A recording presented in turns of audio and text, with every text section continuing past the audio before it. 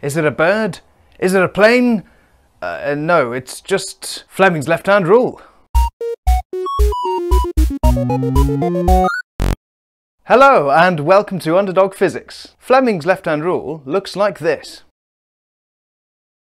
It shows the direction of force experienced by a current carrying wire when it's in a magnetic field. Basically, if a current carrying wire is in a magnetic field and it's at 90 degrees to that magnetic field, it will experience a force. If the current and magnetic field directions are parallel to each other, we don't get a force. If the current direction and magnetic field direction are somewhere in between parallel and 90 degrees to each other, we get a kind of a bit of a force.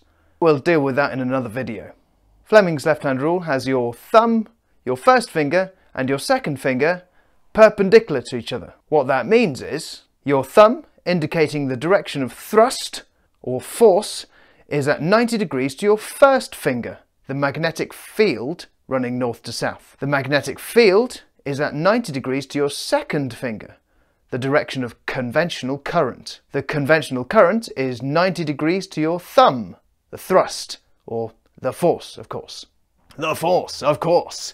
Maybe I should make a t-shirt. T-shirts? Now that's sorted out, let's see an example or two. If a wire carrying conventional current in this direction, from left to right on the screen, is in a magnetic field flowing upward on the screen, the direction of the force on the wire should be out of the screen, towards your face. If a wire carrying conventional current into the screen is in a magnetic field flowing upward on the screen as you look at it, the direction of the force would be to the right. Thanks for watching. I hope you found this useful. Please feel free to like, share and subscribe.